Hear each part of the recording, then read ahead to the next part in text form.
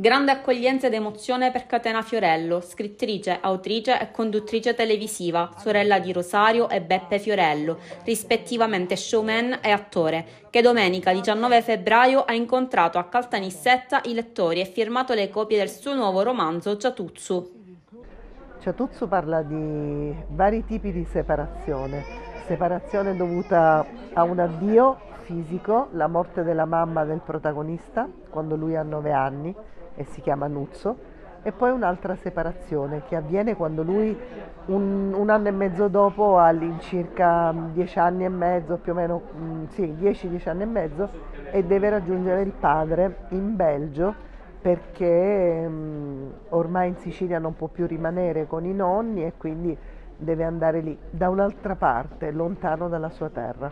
I temi della separazione e lontananza sono spesso presenti nei libri della Fiorello. Il comune denominatore eh, delle separazioni, della lontananza che potremmo anche chiamare emigrazione. Chiunque si trovi nella condizione di emigrare deve lasciare un posto a cui è legato e deve affrontare l'ignoto e non è facile.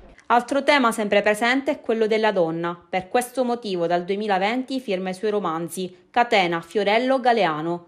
Galeano è il cognome della madre. Parlo tanto di donne, di tematiche legate al mondo femminile, che poi però è anche quello maschile, e quindi mi sembrava giusto proprio omaggiare la figura femminile per eccellenza della mia vita, mia madre.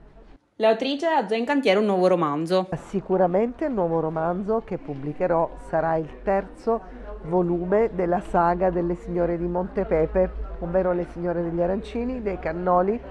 Questa volta le ritroviamo con un'altra specialità della gastronomia o della pasticceria, non si sa, siciliana, potrebbe essere la caponata, potrebbe essere la granita, ma poi noi abbiamo talmente tante specialità che questa saga potrebbe non finire mai.